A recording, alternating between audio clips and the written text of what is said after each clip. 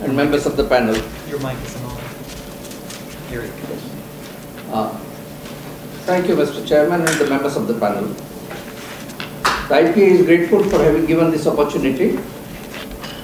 My membership consists of uh, pharmaceutical companies which collectively account for close to 80% of the expenditure on pharmaceutical research and development in the private sector in India.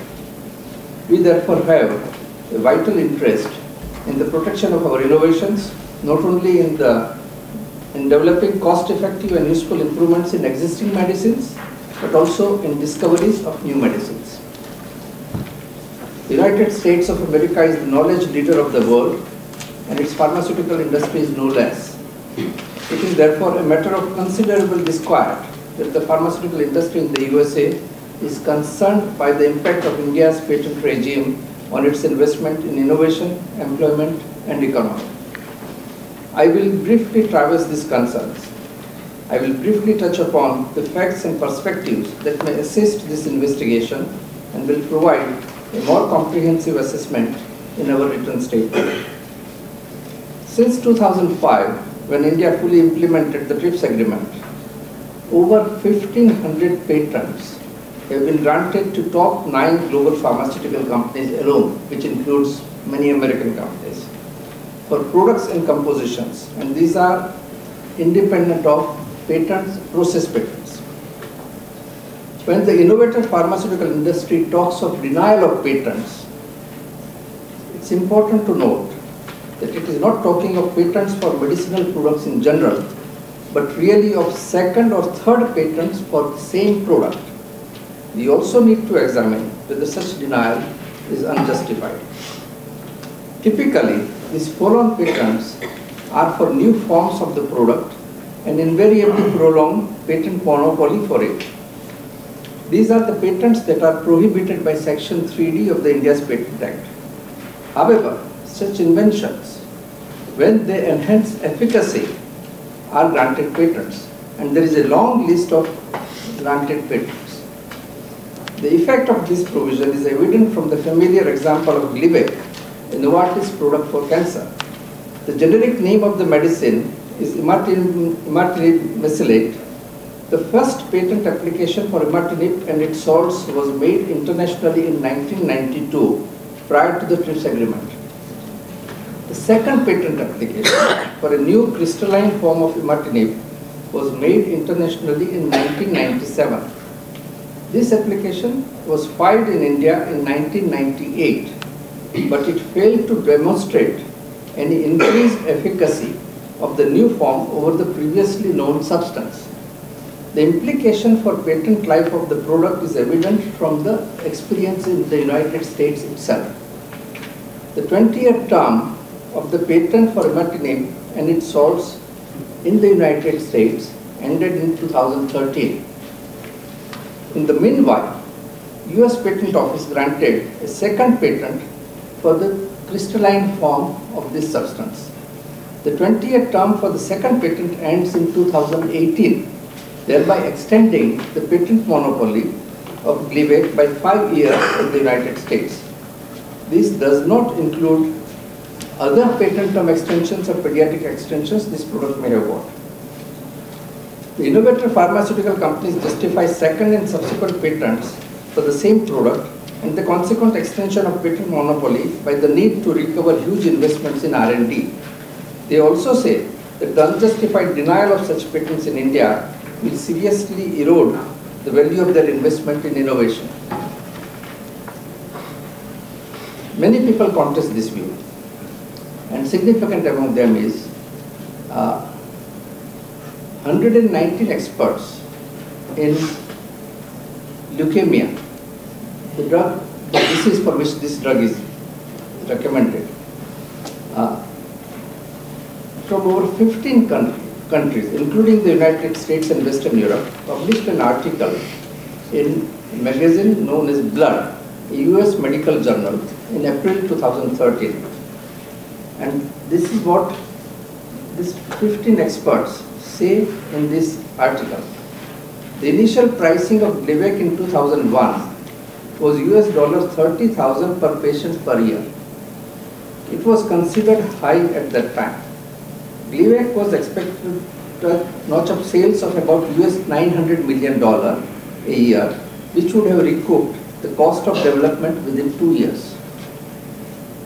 However, Glivec became a blockbuster and usage exceeded expectations of the company.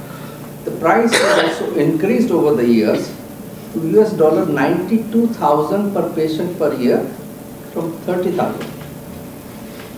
The revenue from Glivec were about US dollar 4.7 billion in 2012. This has to be contrasted with the recovery of the R&D cost.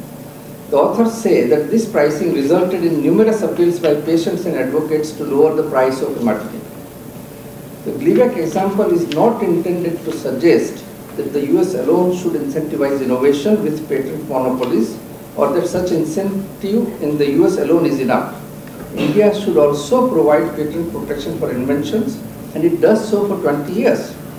The Glivec example also illustrates the impact of extending patent monopolies beyond 20 years and the reasoning behind the enactment of section 3D to preempt such extensions. Innovative pharmaceutical companies have also expressed concern about the grant of compulsory license by India for reasons other than public health emergencies. This is not a provision that is unique to India. Many countries provide for grant of compulsory licenses in the public interest, a term that is invariably acknowledged to have wider ambit than public health emergencies. At least eight of uh, the 12 Western European countries have provision in their laws for grant of compulsory licenses in the public interest, and so do many Asian and Latin American countries, and they have exercised this right. India has arguably a more restrictive provision for compulsory license. Compulsory license under section 84 can be granted on any of three grounds if the reasonable requirement of the public for the patented article are not met or the patented article is not available at a reasonably affordable price or if the patent is not worked on a commercial scale in the territory of India. The provision in Indian law is therefore neither unusual nor a cause of concern, but we should also examine its implementation. As far as we are aware, only two applications for compulsory licensing have been made since 2005. The first was for Bayer's Nexavar, which has resulted in the grant of a compulsory license. The second was for Bristol Myers Squibb's Sprycel, which was rejected. The application for a compulsory license for Nexavar was first in India, though there has been a provision for its grant at least from 1950 and in the last 65 years India has not granted a single compulsory license. It was granted by the Controller of Patents in March 2012 and all the, on all the three grounds that I enumerated earlier, including that Bayer failed to work the patent in India as it imported the drug. Bayer appealed against the grant of this license. The intellectual property appellate board confirmed the grant of compulsory license but disagreed with the interpretation of the controller on the working of the patent. I do not refer to Bayer's case to justify the grant of a compulsory license. But I do want to make the point that it is the result of a careful assessment of the facts and is subject to multiple rounds of judicial review. Compulsory licenses are not granted in India for the mere asking. And when they are granted, as the IPAB has categorically said, it is not to favor any applicant, but to implement the law to meet the reasonable requirements of the public at a reasonably affordable, affordable price. So the key question is, how does one determine reasonableness? The law is still evolving. Bayer has appealed the decision before the High Court of Bombay and the appeal is pending consideration. In the meanwhile, the decision of Controller of Patents and the appellate board indicates what in their view is not reasonable, namely they are making Nexavar available at US dollars 74,000 per patient per year in India for a few hundred patients only. There are some other concerns which also need to be examined, uh, which we will address in our comprehensive uh, written submissions. But I would briefly touch upon a couple of them. One reference is to unnecessary burdensome patent application requirement under section Article 8 of the Indian Patent Act. This provision is applicable to all applicants, Indian and foreign, so there is no discrimination. All that it requires is a statement from the applicant giving particulars of applications made for the same or similar subject matter in jurisdictions outside India. Even Indian companies have to do this and update them, uh, update on them till the grant or, or rejection. This will help Indian Patent Office to sensitize itself with the thinking of other jurisdictions. Another such concern with the provision, I will skip that. Yet another concern is, it is possible that India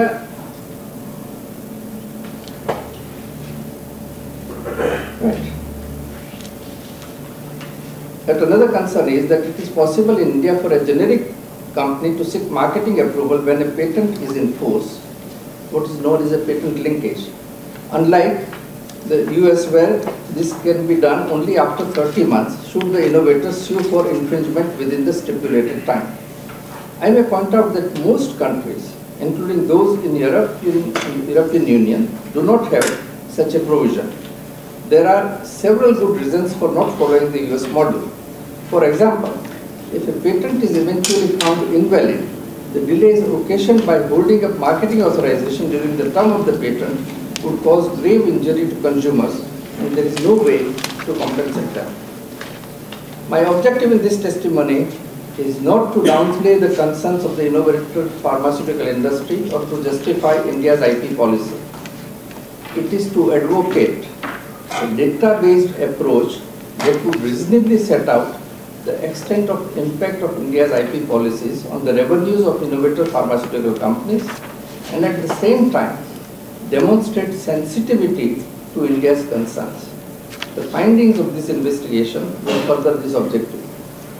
I believe, to conclude, the respect in India for the knowledge leadership of the US is high and this constitutes a firm basis to believe in the potential of an evidence-based dialogue for mutual benefit as opposed to other options being advocated in this forum today.